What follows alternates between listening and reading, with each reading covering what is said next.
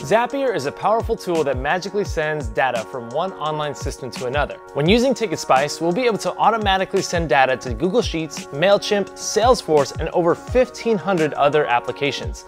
Zapier works behind the scenes, so this will be a one-time setup and requires no maintenance. Just a few clicks and we'll be all set. In this case, let's create a link between TicketSpice and Google Sheets. This link is used by many other TicketSpice users for getting information to your team without squabbling over user permissions. Before we get started, let's make sure we have all the materials needed. We'll need a TicketSpice account that will be sending the information, a Google Sheets account that will be receiving the information, and Zapier that will be doing all the sending. If you're wanting to set up a new TicketSpice page, click here.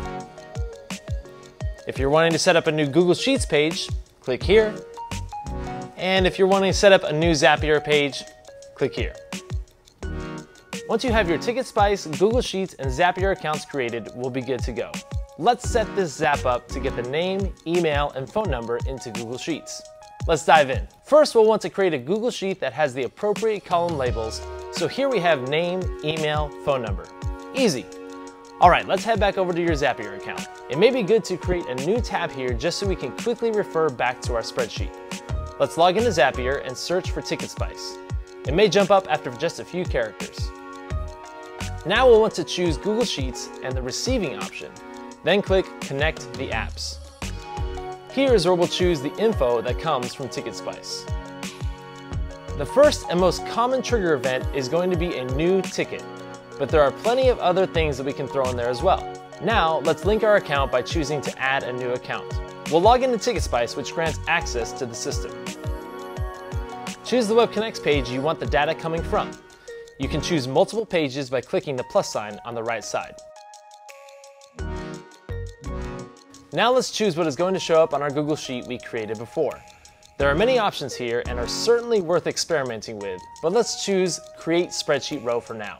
This will create a new row on an existing Google Sheet. If this is your first time logging into the Google Sheets module in Zapier, we'll just need to toss in those credentials for our Google Sheet one more time. Great! Let's choose our spreadsheet name and worksheet name.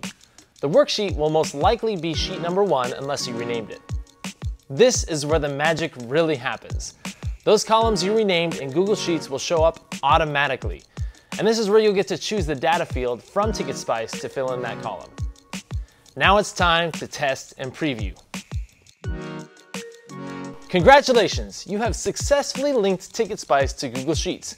This was a basic overview of linking two systems together with Zapier.